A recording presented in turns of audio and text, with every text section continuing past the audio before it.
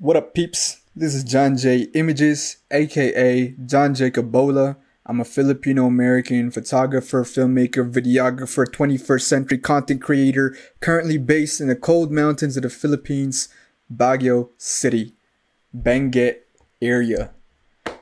So, this is a photo video.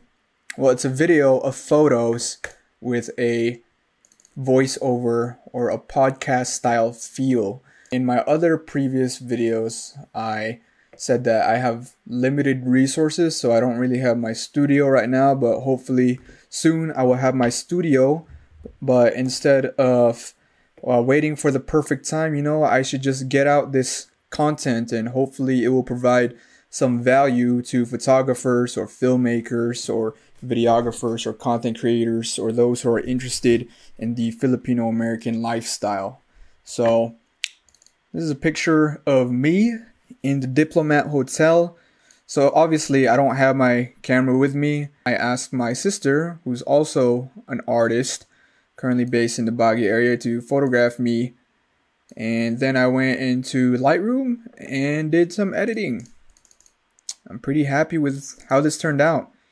It's dramatic, it's moody, has leading lines.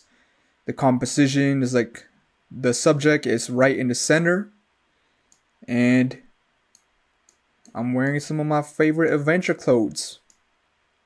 So the lesson that you could learn from this photograph is if you want to take nice portraits and you don't want your vacation photos to be full of selfies, this applies to uh, beginner photographers or people with a camera that they don't really know how to use.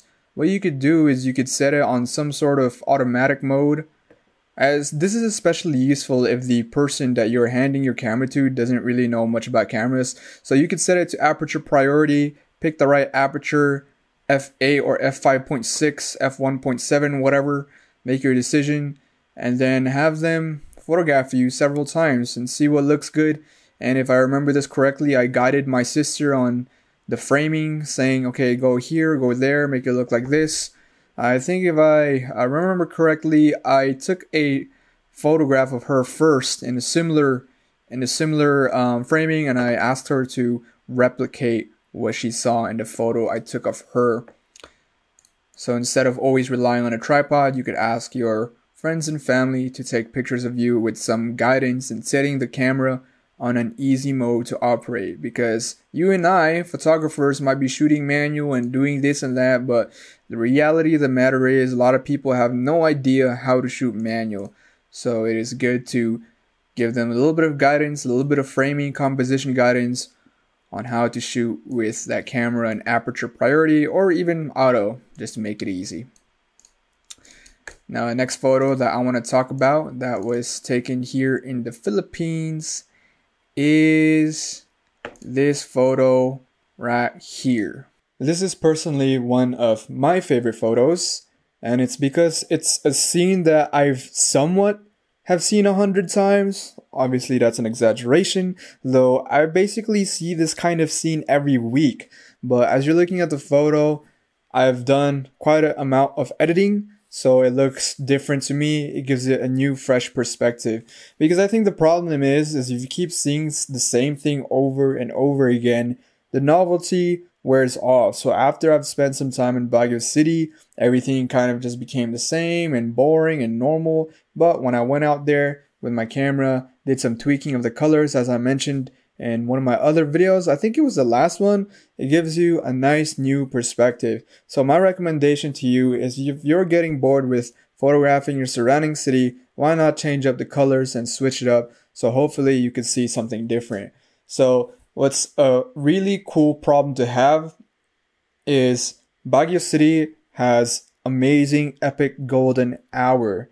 So the cool thing is that you always see it, but it's also a problem because you kind of get used to it and the uniqueness wears off. But you have to keep in mind that people around the world, they don't always have an epic, amazing golden hour, unlike the city that you live in potentially. So one of my regrets of the past few years of living or spending time in a lot of other cities is that I did not photograph them enough. So my goal for 2022 is to photograph Baguio City the city I'm currently spending a lot of time in right now. I want to photograph it to a good amount so I have a nice remembrance, a nice artistic expression, remembrance photographer dude thingy so I could look back and say, yes, I acted and I was a photographer in that city when I spent time there. I made some images that I was proud of. So this image, technically, to me, it's not perfect. There's some clipping on the highlights. It's a little bit uh, blown out, but hey, whatever. Stop being a perfectionist.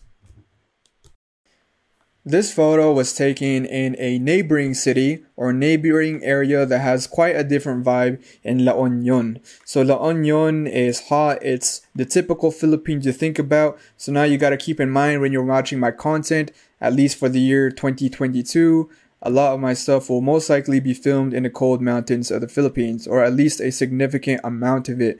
But this photo was taken in the hot part of the Philippines, the lowlands, all that typical Filipino uh, heat and you know ocean thingy. So this was taken around that area. I really want to do more botanical photography. Obviously, with the uh, the trends, people are really getting into plants, and I think people are more eager to see botanical or plant photography. I hope you enjoyed this little photo video podcast thing. I'm trying out some things, see what works, see what doesn't, see what gets good feedback and see what doesn't really get much attention. So I hope you enjoyed this. If you've listened all the way to the end and if you like this podcast, please give it a like. Consider subscribing if you want to see more Filipino American photographer content. And hopefully I'll see you or you'll hear me on the next video. Thanks.